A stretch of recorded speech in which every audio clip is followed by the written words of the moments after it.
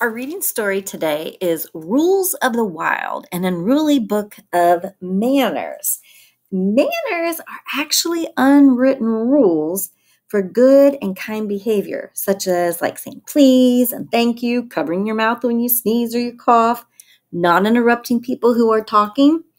And there are a lot of manners that go along with eating meals together, you know, like chewing with your mouth closed and saying, Excuse me if you burp at the table, don't use your shirt sleeve as a napkin, those kinds of things. So, this is going to be a little bit about some of those rules or um, manners. Um, our genre today is fantasy, and that means that the people, the animals, or the objects can do things in this story that they would not be able to do in real life. And things that are happening are not things that could happen in the real world. The essential question that I want you to think about is what would it be like without rules? What would it be like without manners? All right, we are going to be using the comprehension strategies of asking and answering questions and also making connections.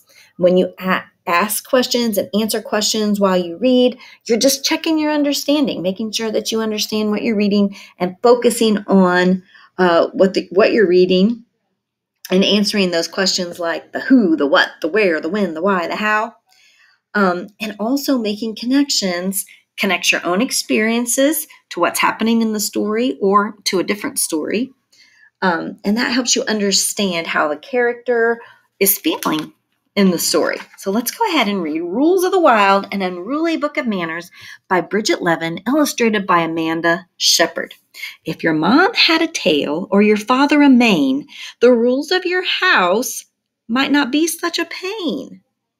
All right, so after I read this section, what questions might I have? Do you notice anything about the sounds on this page? Hmm, it sounds like it might be a rhyming book, right? because you hear words like uh, mane and pain. Hmm.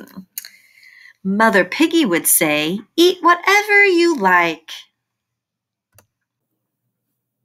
Father, Father Fruit Bat declare, You can stay up all night. Mother Dolphin would nod, Splashing is fine. Father Lion exclaim, That roar sounds divine.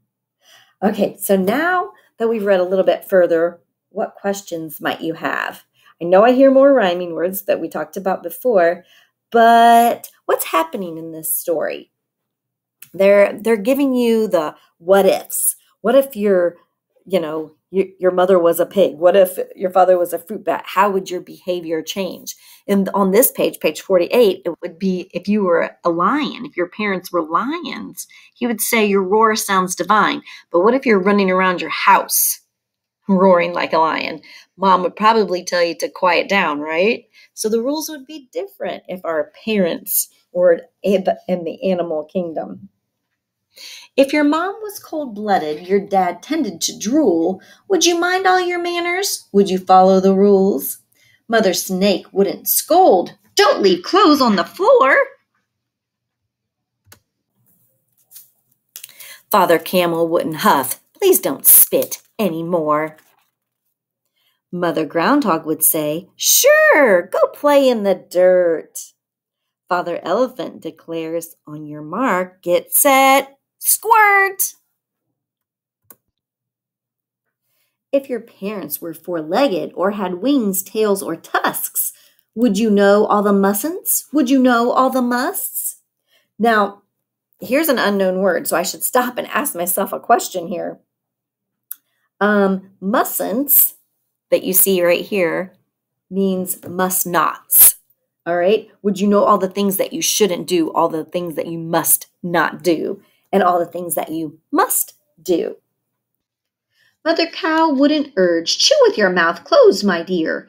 Father Walrus wouldn't fuss, we don't burp around here. Mother Grizzly would yawn, sure, sleep all winter long.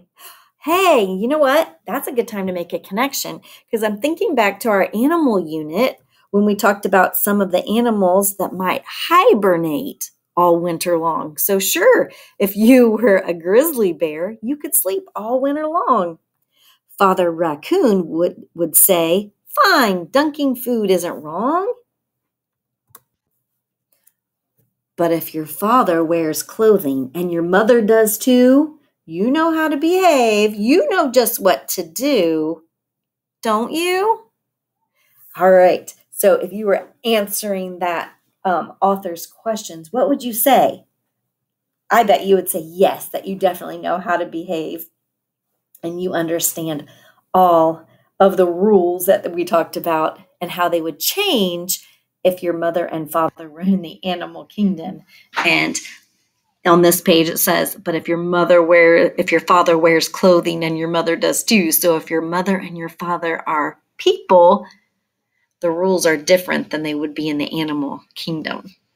I will make sure that I include all of the discussion starters so that you can talk about how the rules would be different depending on who your parents are um, with your big person.